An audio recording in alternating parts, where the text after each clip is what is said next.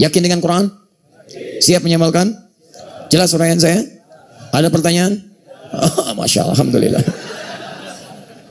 Hanya orang kurang iman yang menulis di kertas ini.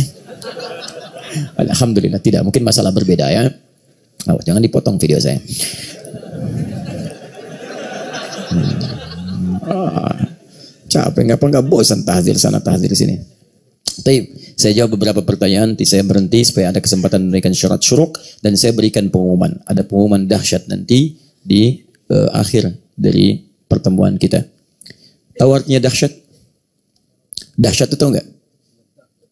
Bukan, bukan. Bukan. Itu Mas coba yang serius ya. Itu saya, saya perhatikan Anda kalau saya bicara itu suka lihat handphone terus nggak fokus Anda. Anda kalau nggak ini keluar aja. Keluar aja. Anda. Nah itu dahsyat namanya. Itu dahsyat. Jadi orang sampai bingung. Wah luar biasa. itu dahsyat. Dahsyat. Tidak ya, tidak itu itu contoh dahsyat.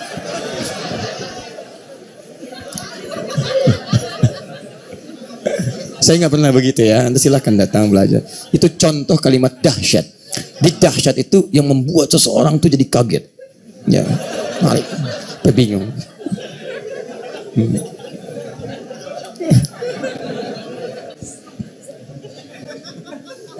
Ah, dahsyat, dahsyatnya nunduk, kalian ngantuk.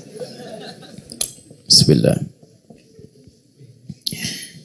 Taib khair insyaAllah minta doa saya sekali pergi umrah tolong doakan saya dan keluarga insyaAllah bismillah kita doakan semoga Allah permudah anda dan anda ikhtiar ya anda nabung ya anda bermohon pada Allah dan ada saya berikan satu kisah. Mungkin bisa jadi inspirasi bagi anda. Cari amalan-amalan yang kiranya mempercepat doa anda terkabul. Misal sepertiga malam di akhir pohon dalam sujud minta dalam taklim jadi ini kisah nyata. Dan saya langsung mengalami dengan teman-teman yang jamaah-jamaah khusus dulu awal-awal lihat belajar bersama kami di Bekasi. Orang ini ahli Quran, bahkan punya percetakan Quran. Ya, cuma dalam kehidupannya barangkali menyesuaikan keadaan, cukup hidupnya, tapi belum cukup bekal untuk umrah. Punya keinginan, bahkan haji, beliau pengennya haji. Sering bertanya macam-macam, Bismillah saya bilang, ayolah, bermohon pada Allah, dengan Qurannya bacakan ayat-ayat tentang haji, dan yuk besok ikut manasik saya nggak haji Ustaz, ikut aja dulu bismillah dengan yang lain. Itu teman-teman sekalian, waktunya mendekat kepada haji. Di kami di Al Ihsan PTM PJS Bekasi, itu setiap musim haji dibuka manasik gratis untuk seluruh yang mau haji, siapa pun dia. Kita ajarkan caranya, kita terus kita hadirkan miniatur Ka'bahnya, dibuat miniasi di sampingnya ya dan sebagainya, terus kita simulasikan. Siapkan aja dibuka. Singkatnya, datanglah orang yang mau berhaji, ada yang sekedar melihat, ada yang praktek termasuk beliau itu. Atau apa yang terjadi? Begitu kemudian kita coba untuk manasik, saya ajarkan tentang tawaf. Begini cara masuknya. Ini cara prakteknya. Ketika melihat Ka'bah ini doanya. Rasakan begini, begini, begini. Yang lain itu sibuk melihat, ada yang videokan, yang mencatat. Demi Allah saya katakan, beliau ini termasuk satu orang yang terpaku beberapa menit di depan miniatur Ka'bah itu dan meleleh air matanya. Kemudian kisahnya selesai manasik itu. Berapa waktu setelah itu, tiba-tiba waktunya musim haji, taklim seperti biasa. Saya nggak temukan orang itu. Nggak ada dia. Sampai selesai musim haji, tiba-tiba sudah kumpul taklim sepekan setelah musim haji. Tiba-tiba muncul yang tadi itu, senyum, wajahnya sudah bersih, gembira luar biasa. Saya tanya, antum ke mana aja kemarin nggak taklim? Afan Ustaz, saya nggak sempat pamitan, saya haji. Saya haji. Gimana saya bilang?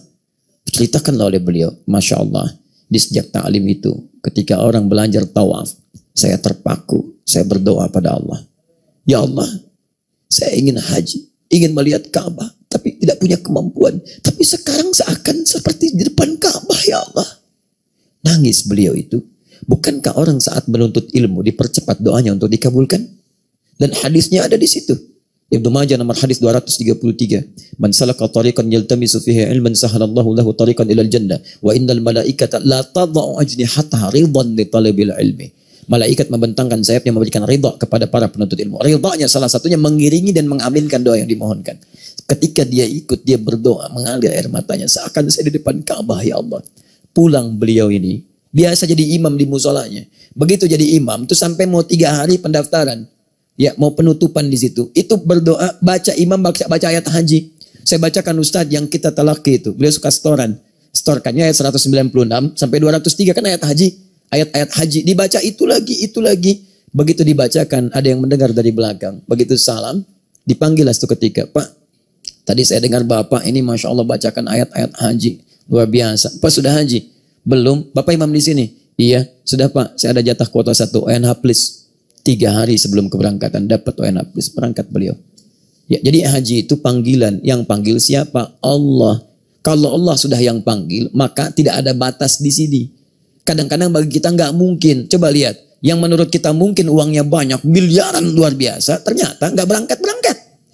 Ada yang haji sampai Singapura, haji Singapura, sampai Singapura nggak bisa berangkat, balik lagi, doa lagi. Ada yang sampai Jeddah, tiga sudah di Jeddah, nggak bisa keluar, balik lagi.